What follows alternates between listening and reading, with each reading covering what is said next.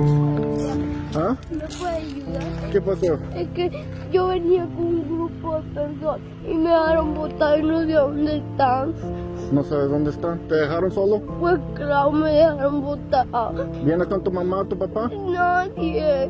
Yo venía en un grupo que venía de entrega con usted y al final me dejaron botar y venía aquí a pedir auxilio. ¿Te dejaron botado y te dijeron que vinieras a pedir auxilio? No, yo vengo porque si no, ¿por dónde me voy a ir? Allí voy a dejar y tal vez me pueden robar, secuestrar o algo. Te pueden robar.